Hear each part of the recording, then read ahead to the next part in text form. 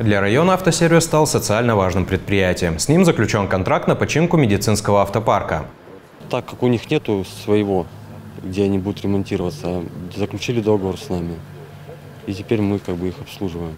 На средства от государства были приобретены инструменты и подъемники. Теперь для ремонта скорых нужно дополнительное оборудование. Хотелось бы поставить подъемник на 5,5 тонн, 6 метров. Вот. Чтобы как-то со скорыми уже решить вопрос. Потому что они часто приезжают и в первую очередь обслуживаем скорую помощь. А, с Минеком работаю.